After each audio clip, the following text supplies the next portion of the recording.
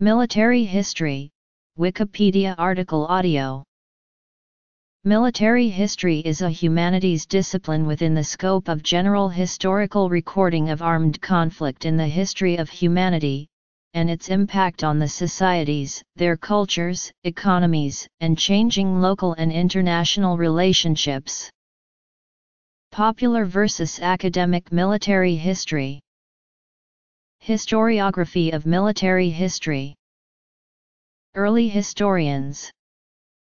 Technological evolution. Ancient era. Middle Ages. The rise of gunpowder. Modern technologies. Periods of military history. Ancient warfare. Medieval warfare Gunpowder warfare Industrial warfare Modern warfare Notes and references Historiography.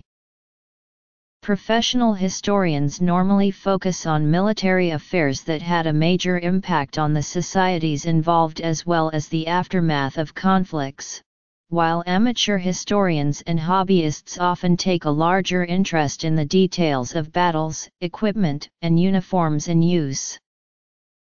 The essential subjects of military history study are the causes of war, the social and cultural foundations, military doctrine on each side, the logistics, leadership, technology, strategy, and tactics used, and how these changed over time.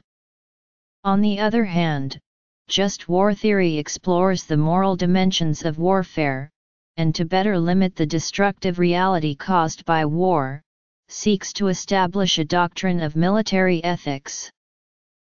As an applied field, military history has been studied at academies and service schools because the military command seeks to not repeat past mistakes, and improve upon its current performance by instilling an ability in commanders to perceive historical parallels during a battle, so as to capitalize on the lessons learned from the past. When certifying military history instructors the Combat Studies Institute emphasizes rote detail memorization and focuses on themes and context in relation to current and future conflict, using the motto Past is Prologue. The discipline of military history is dynamic, changing with development as much of the subject area as the societies and organizations that make use of it. The dynamic nature of the discipline of military history is largely related to the rapidity of change the military forces, and the art and science of managing them, as well as the frenetic pace of technological development that had taken place during the period known as the Industrial Revolution, and more recently in the nuclear and information ages. An important recent concept is the revolution in military affairs which attempts to explain how warfare has been shaped by emerging technologies, such as gunpowder. It highlights the short outbursts of rapid change followed by periods of relative stability. In terms of the history profession in major countries, military history is an orphan, despite its enormous popularity with the general public.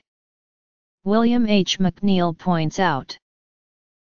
Historiography is the study of the history and method of the discipline of history or the study of a specialized topic. In this case, military history with an eye to gaining an accurate assessment of conflicts using all available sources. For this reason military history is periodist, creating overlaying boundaries of study and analysis in which descriptions of battles by leaders may be unreliable due to the inclination to minimize mention of failure and exaggerate success. Military historians use historiographical analysis in an effort to allow an unbiased, contemporary view of records.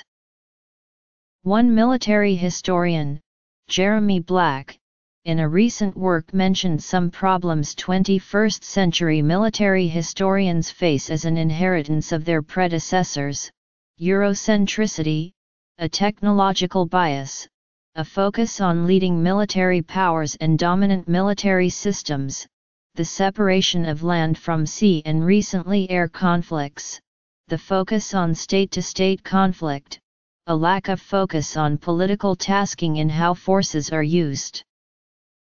If these challenges were not sufficient for the military historians, the limits of method are complicated by the lack of records, either destroyed or never recorded for its value as a military secret that may prevent some salient facts from being reported at all. Scholars still do not know the exact nature of Greek fire for instance. Researching Operation Enduring Freedom and Operation Iraqi Freedom, for example, have presented unique challenges to historians due to records that were destroyed to protect classified military information, among other reasons. Historians utilize their knowledge of government regulation and military organization, and employing a targeted and systematic research strategy to piece together war histories.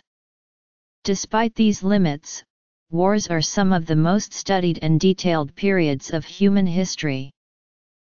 Military historians have often compared organization, tactical and strategic ideas, leadership, and national support of the militaries of different nations. In the early 1980s, historian Jeffrey Kimball studied the influence of a historian's political position on current events on interpretive disagreement regarding the causes of 20th century wars. He surveyed the ideological preferences of 109 active diplomatic historians in the United States as well as 54 active military historians. He finds that their current political views are moderately correlated with their historiographical interpretations. A clear position on the left-right continuum regarding capitalism was apparent in most cases. All groups agreed with the proposition, Historically, Americans have tended to view questions of their national security in terms of such extremes as good versus evil. Though the socialists were split, the other groups agreed that miscalculation and slash or misunderstanding of the situation had caused U.S. interventionism. Kimball reports that the documentation of military history begins with the confrontation between Sumer and Elam c. 2700 BC near the modern Basra. Other prominent records in military history are the Trojan War in Homer's Iliad, the histories by Herodotus who is often called the father of history. Next was Thucydides whose impartiality, despite being an Athenian, allowed him to take advantage of his exile to research the war from different perspectives by carefully examining documents and interviewing eyewitnesses. An approach centered on the analysis of a leader was taken by Xenophon in Anabasis, recording the expedition of Cyrus the Younger into Anatolia. The records of the Roman Julius Caesar enable a comparative approach for campaigns such as Commentarii de Bello Gallico and Commentarii de Bello Civili. New weapons development can dramatically alter the face of war, the cost of warfare, the preparations, and the training of soldiers and leaders. A rule of thumb is that if your enemy has a potentially war-winning weapon, you have to either match it or neutralize it. Chariots originated around 2000 BC. The chariot was an effective, fast weapon, while one man controlled the maneuvering of the chariot, a second bowman could shoot arrows at enemy soldiers. These became crucial to the maintenance of several governments, including the new Egyptian kingdom and the Shang dynasty and the nation-states of early to mid-Zhou dynasty.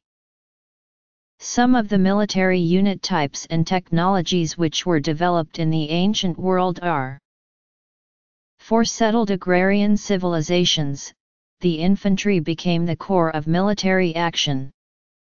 The infantry started as opposing armed groups of soldiers underneath commanders.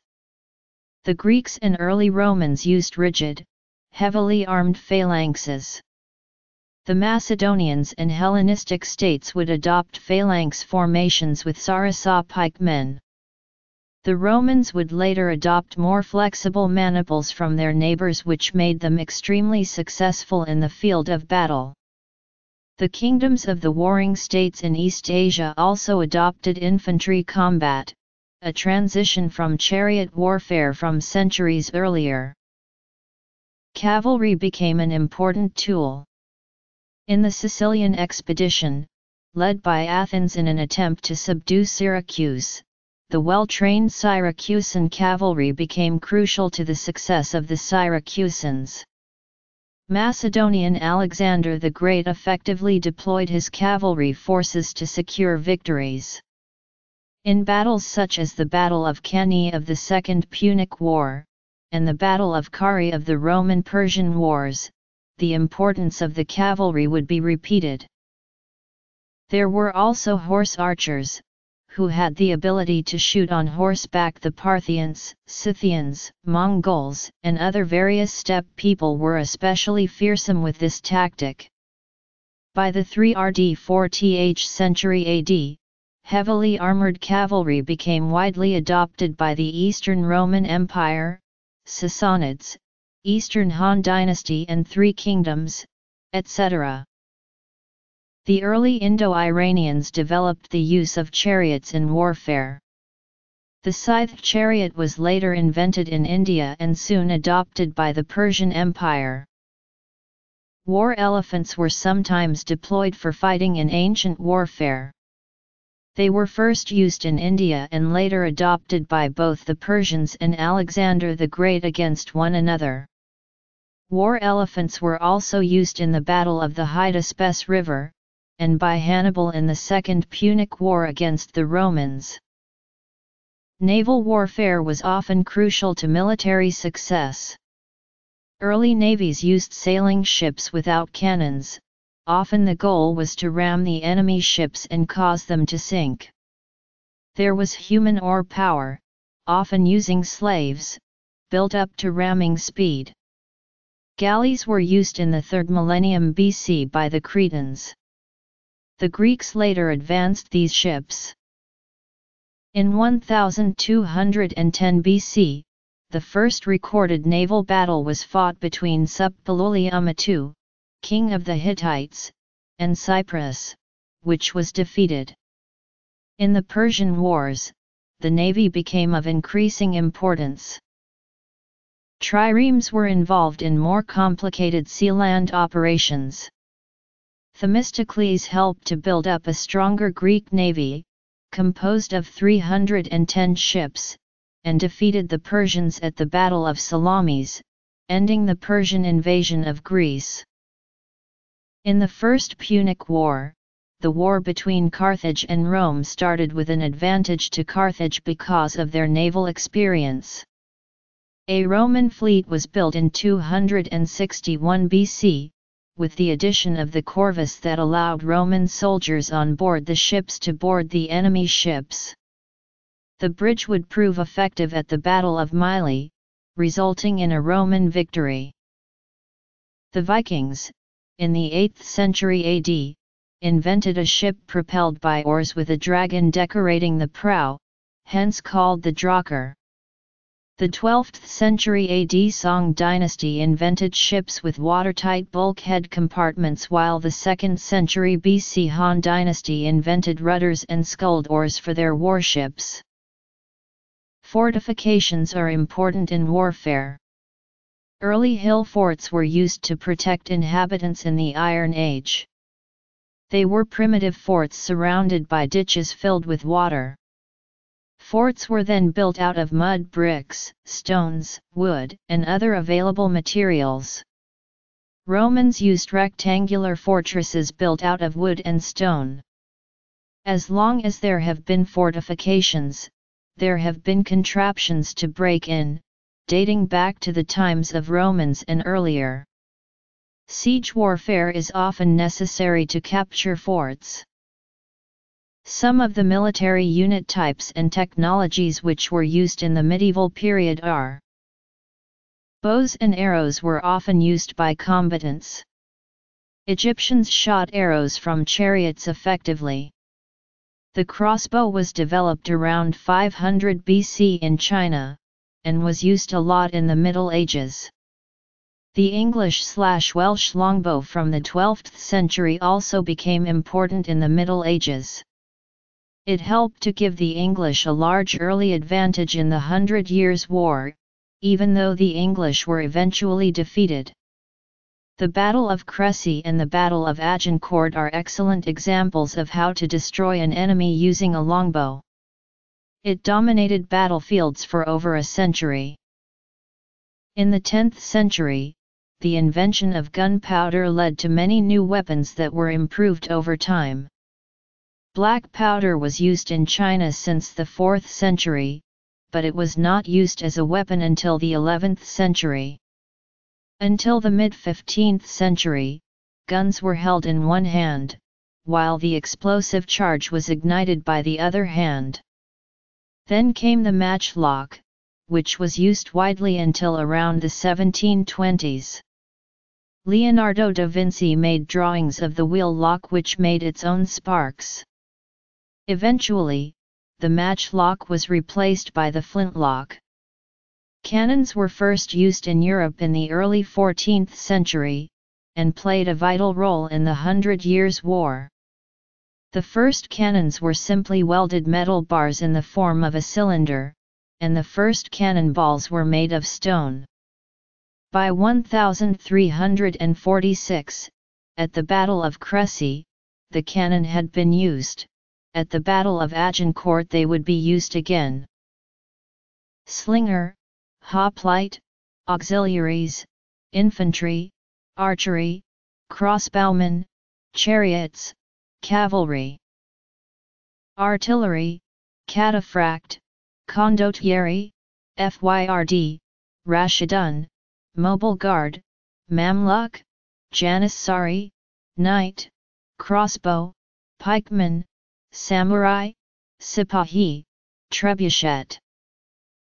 At the beginning of the 16th century, the first European fire ships were used. Ships were filled with flammable materials, set on fire, and sent to enemy lines. This tactic was successfully used by Francis Drake to scatter the Spanish Armada at the Battle of Gravelines, and would later be used by the Chinese, Russians, Greeks, and several other countries in naval battles. Naval mines were invented in the 17th century, though they were not used in great numbers until the American Civil War. They were used heavily in the First and Second World Wars. Air-deployed naval mines were used to mine the North Vietnamese port of Haiphong during the Vietnam War. The Iraqi Navy of Saddam Hussein used naval mines extensively during the Tanker War, as part of the Iran-Iraq War. The first navigable submarine was built in 1624 by Cornelius Drebbel, it could cruise at a depth of 15 feet. However, the first military submarine was constructed in 1885 by Isaac Peral. The turtle was developed by David Bushnell during the American Revolution. Robert Fulton then improved the submarine design by creating the Nautilus. The howitzer, a type of field artillery, was developed in the 17th century to fire high-trajectory explosive shells at targets that could not be reached by flat-trajectory projectiles. Organizational changes resulting in better training and intercommunication, made the concept combined arms possible, allowing the use of infantry, cavalry, and artillery in a coordinated way. Bayonets also became of wide usage to infantry soldiers. Bayonet is named after Bayonne, France where it was first manufactured in the 16th century. It is used often in infantry charges to fight in hand-to-hand -hand combat. General Jean Martinet introduced the bayonet to the French army. They were used heavily in the American Civil War, and continued to be used in modern wars like the invasion of Iraq. Balloons were first used in warfare at the end of the 18th century. It was first introduced in Paris of 1783, the first balloon traveled over 5 miles. Previously military scouts could only see from high points on the ground, or from the mast of a ship. Now they could be high in the sky, signaling to troops on the ground. This made it much more difficult for troop movements to go unobserved. At the end of the 18th century, Iron-cased artillery rockets were successfully used militarily in India against the British by Tipu Sultan of the Kingdom of Mysore during the Anglo-Mysore Wars. Rockets were generally inaccurate at that time, though William Hale, in 1844, was able to develop a better rocket. The new rocket no longer needed the rocket stick, and had a higher accuracy. In the 1860s there were a series of advancements in rifles. The first repeating rifle was designed in 1860 by a company bought out by Winchester, which made new and improved versions. Springfield rifles arrived in the mid-19th century also. Machine guns arrived in the late 19th century. Automatic rifles and light machine guns first arrived at the beginning of the 20th century. In the later part of the 19th century, the self-propelled torpedo was developed. The HNoMS Rap was the world's first torpedo boat. At the start of the World Wars, various nations had developed weapons that were a surprise to their adversaries, leading to a need to learn from this, and alter how to combat them. Flamethrowers were first used in the First World War. The French were the first to introduce the armored car in 1902. Then in 1918, the British produced the first armored troop carrier. Many early tanks were proof of concept but impractical until further development. In World War I, the British and French held a crucial advantage due to their superiority in tanks, the Germans had only a few dozen A-7V tanks, as well as 170 captured tanks. The British and French both had several hundred each.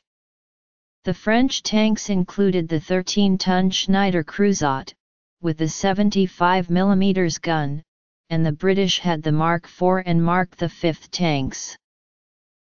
On December 17, 1903, the Wright brothers performed the first controlled, powered, heavier-than-air flight, it went 39 meters. In 1907, the first helicopter flew, but it wasn't practical for usage. Aviation became important in World War I, in which several aces gained fame. In 1911 an aircraft took off from a warship for the first time. Landings on a cruiser were another matter. This led to the development of an aircraft carrier with a decent unobstructed flight deck. Chemical warfare exploded into the public consciousness in World War I but may have been used in earlier wars without as much human attention. The Germans used gas-filled shells at the Battle of Bolimov on January 3, 1915. These were not lethal, however. In April 1915, the Germans developed a chlorine gas that was highly lethal, and used it to moderate effect at the Second Battle of Ypres. Gas masks were invented in matter of weeks, and poison gas proved ineffective at winning battles. It was made illegal by all nations in the 1920s.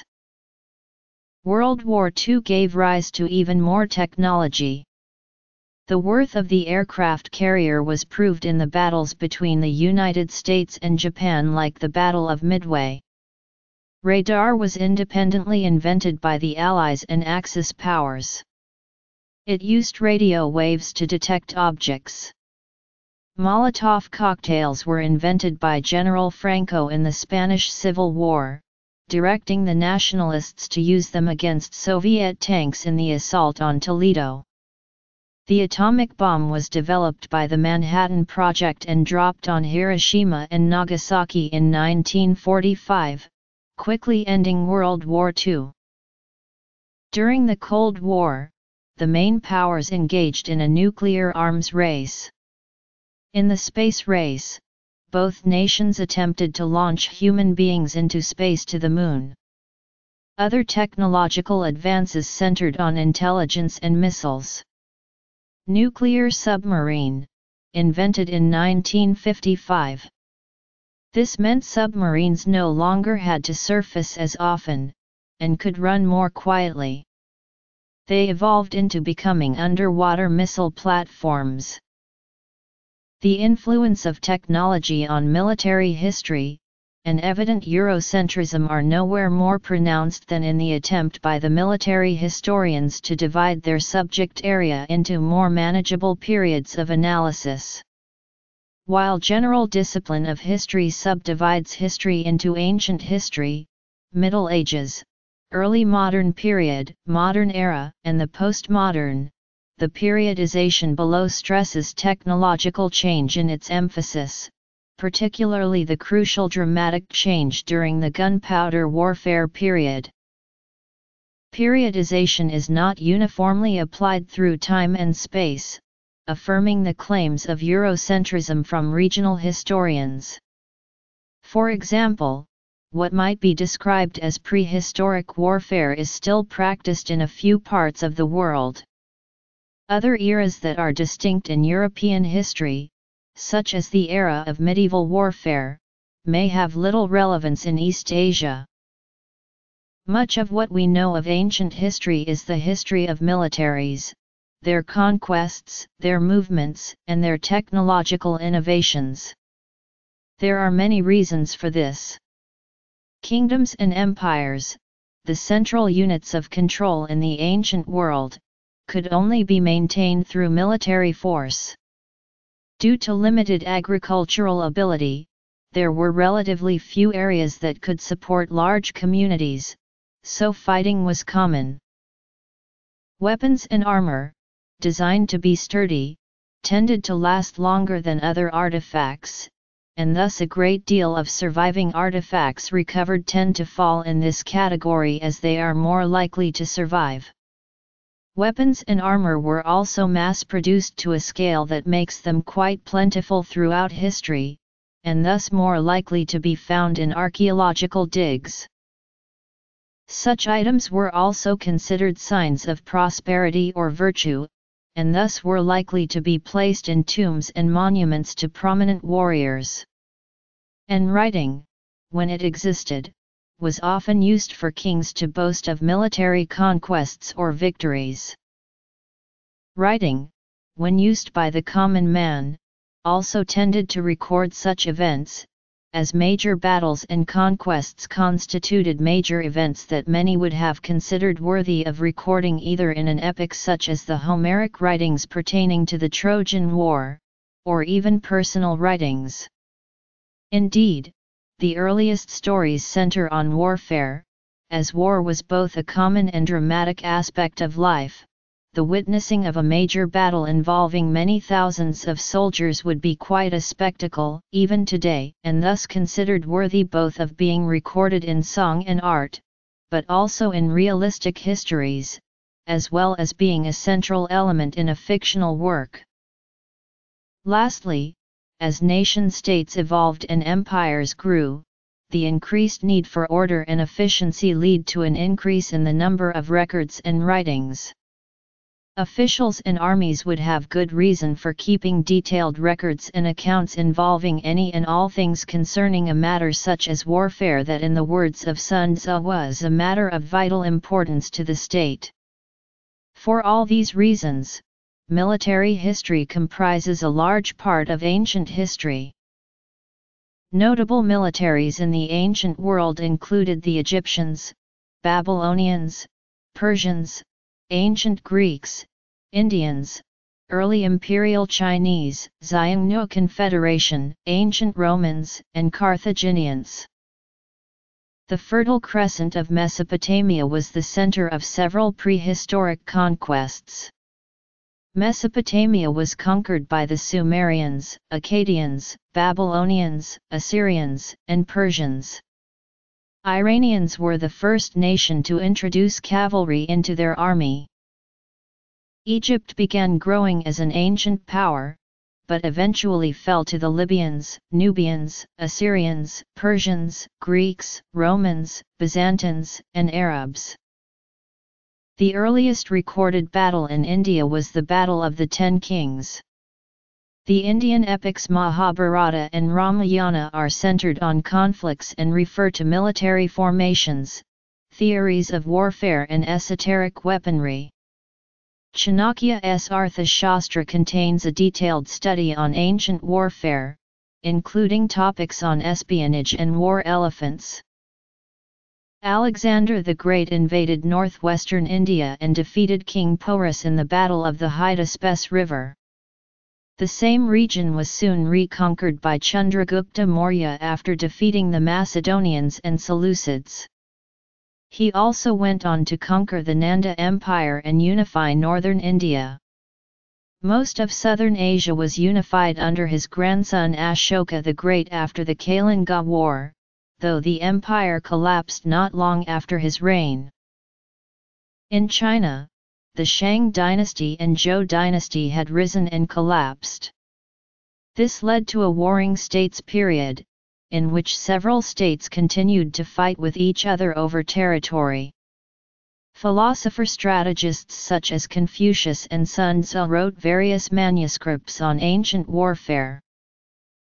The Warring States era philosopher Mozi and his Mohist followers invented various siege weapons and siege craft, including the cloud ladder to scale fortified walls during a siege of an enemy city. The Warring States were first unified by Qin Shi Huang after a series of military conquests, creating the First Empire in China. His empire was succeeded by the Han Dynasty, which expanded into Central Asia, northern China slash Manchuria, southern China, and present-day Korea and Vietnam. The Han came into conflict with settled people such as the Wiman Joseon, and Proto-Vietnamese Nanyue. They also came into conflict with the Xiongnu, Yuezhi, and other steppe civilizations. The Han defeated and drove the Xiongnu's west, securing the city-states along the Silk Route that continued into the Parthian Empire. After the decline of central imperial authority, the Han dynasty collapsed into an era of civil war and continuous warfare during the Three Kingdoms period in the 3rd century AD. The Achaemenid Persian Empire was founded by Cyrus the Great after conquering the Median Empire, Neo-Babylonian Empire, Lydia, and Asia Minor. His successor Cambyses went on to conquer the Egyptian Empire, much of Central Asia, and parts of Greece, India, and Libya. The empire later fell to Alexander the Great after defeating Darius III. After being ruled by the Seleucid dynasty, the Persian Empire was subsequently ruled by the Parthian and Sassanid dynasties, which were the Roman Empire's greatest rivals during the Roman-Persian Wars. In Greece, several city-states rose to power, including Athens and Sparta. The Greeks successfully stopped two Persian invasions, the first at the Battle of Marathon, where the Persians were led by Darius the Great, and the second at the Battle of Salamis, a naval battle where the Greek ships were deployed by orders of Themistocles and the Persians were under Xerxes I, and the land engagement of the Battle of Plataea. The Peloponnesian War then erupted between the two Greek powers Athens and Sparta. Athens built a long wall to protect its inhabitants, but the wall helped to facilitate the spread of a plague that killed about 30,000 Athenians, including Pericles. After a disastrous campaign against Syracuse, the Athenian navy was decisively defeated by Lysander at the Battle of Aegospotami. The Macedonians, underneath Philip II of Macedon and Alexander the Great, invaded Persia and won several major victories, establishing Macedonia as a major power. However, following Alexander's death at an early age, the empire quickly fell apart. Meanwhile, Rome was gaining power, following a rebellion against the Etruscans. During the Three Punic Wars, the Romans defeated the neighboring power of Carthage. The First Punic War centered on naval warfare. The Second Punic War started with Hannibal's invasion of Italy by crossing the Alps. He famously won the encirclement at the Battle of Cannae. However, after Scipio invaded Carthage, Hannibal was forced to follow and was defeated at the Battle of Zama, ending the role of Carthage as a power. After defeating Carthage the Romans went on to become the Mediterranean's dominant power, successfully campaigning in Greece, in the Middle East, in Gaul, and defeating several Germanic tribes. While Roman armies suffered several major losses, their large population and ability to replace battlefield casualties, their training, organization, tactical and technical superiority enabled Rome to stay a predominant military force for several centuries, utilizing well-trained and maneuverable armies to routinely overcome the much larger tribal armies of their foes. In 54 BC the Roman triumvir Marcus Licinius Crassus took the offensive against the Parthian Empire in the east. In a decisive battle at Carrhae Romans were defeated and the golden aquili were taken as trophies to Ctesiphon. The battle was one of the worst defeats suffered by the Roman Republic in its entire history. While successfully dealing with foreign opponents, Rome experienced numerous civil wars, notably the power struggles of Roman generals such as Marius and Sulla during the end of the Republic. Caesar was also notable for his role in the civil war against the other member of the triumvirate and against the Roman Senate the successors of Caesar Octavian and Mark Antony, also fought a civil war with Caesar's assassins. Octavian and Mark Antony eventually fought another civil war between themselves to determine the sole ruler of Rome. Octavian emerged victorious and Rome was turned into an empire with a huge standing army of professional soldiers. By the time of Marcus Aurelius, the Romans had expanded to the Atlantic Ocean in the west and to Mesopotamia in the east and controlled northern Africa and Central Europe up to the Black Sea. However, Aurelius marked the end of the five good emperors, and Rome quickly fell into decline. The Huns, Goths, and other barbaric groups invaded Rome, which continued to suffer from inflation and other internal strifes. Despite the attempts of Diocletian, Constantine I, and Theodosius I, Western Rome collapsed and was eventually conquered in 476. The Byzantine Empire continued to prosper, however. When stirrups came into use sometime during the Dark Ages militaries were forever changed. This invention coupled with technological, cultural, and social developments had forced a dramatic transformation in the character of warfare from antiquity, changing military tactics and the role of cavalry and artillery. Similar patterns of warfare existed in other parts of the world. In China around the 5th century armies moved from massed infantry to cavalry-based forces, copying the steppe nomads.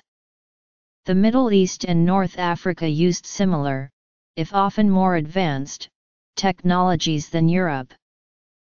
In Japan the medieval warfare period is considered by many to have stretched into the 19th century. In Africa along the Sahel and Sudan states like the Kingdom of Sennar and Fulani Empire employed medieval tactics and weapons well after they had been supplanted in Europe. In the medieval period, feudalism was firmly implanted, and there existed many landlords in Europe. Landlords often owned castles to protect their territory. The Islamic Arab Empire began rapidly expanding throughout the Middle East, North Africa, and Central Asia, initially led by Rashidun Caliphate, and later under the Umayyads.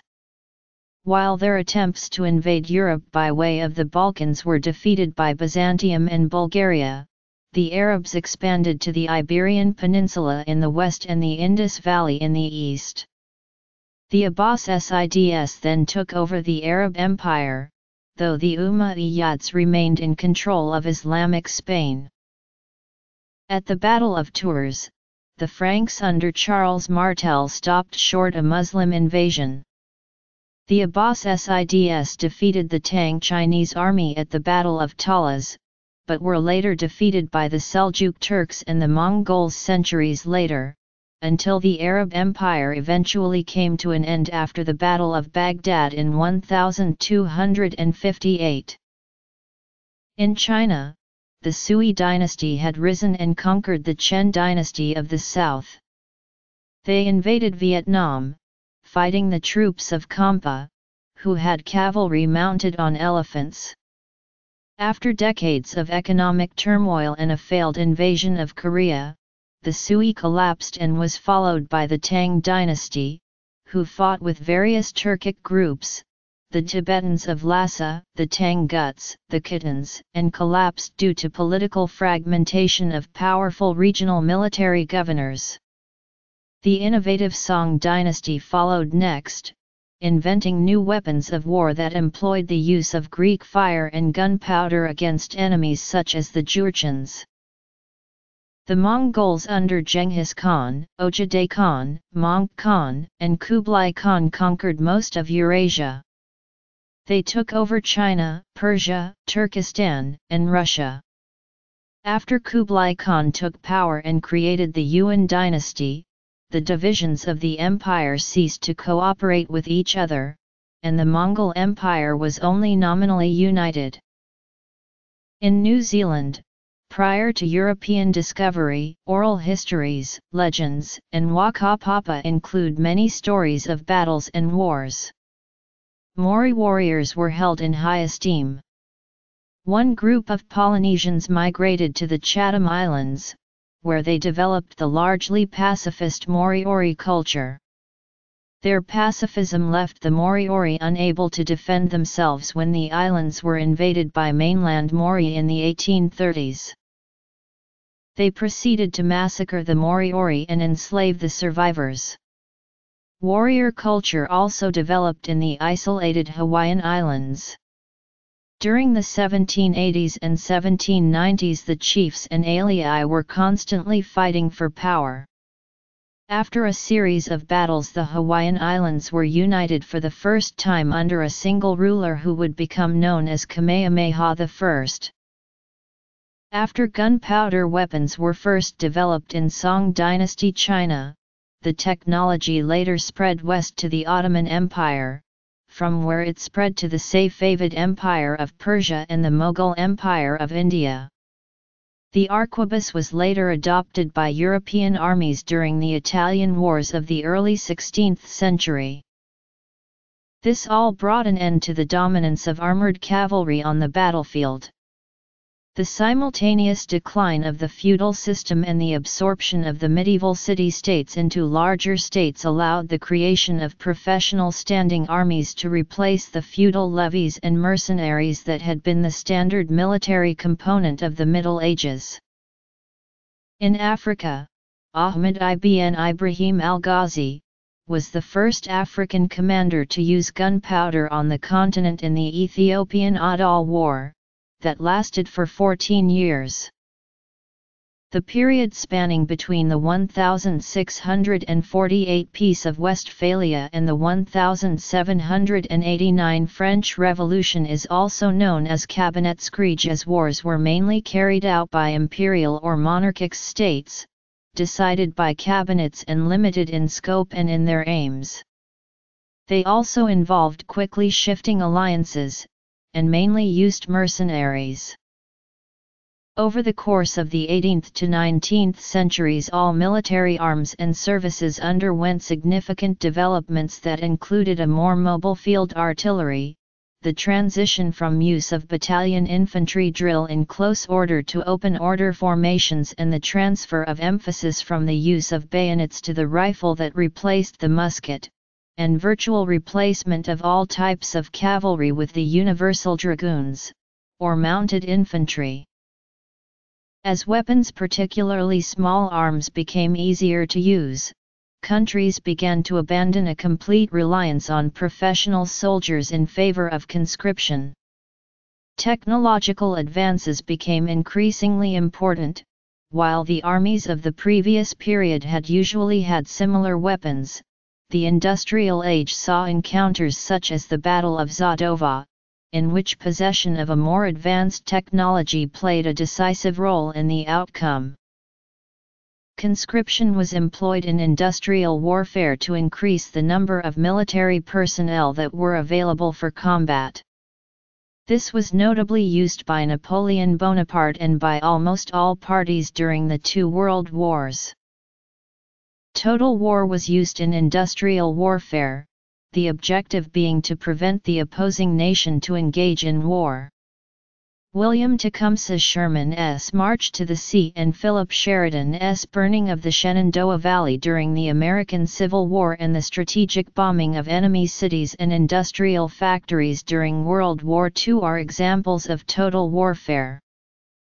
In modern times, war has evolved from an activity steeped in tradition to a scientific enterprise where success is valued above methods. The notion of total war is the extreme of this trend. Militaries have developed technological advances rivaling the scientific accomplishments of any other field of study. Modern militaries benefit in the development of these technologies under the funding of the public, the leadership of national governments. What distinguishes modern military organizations from those previous is not their willingness to prevail in conflict by any method, but rather the technological variety of tools and methods available to modern battlefield commanders, from submarines to satellites, from knives to nuclear warheads.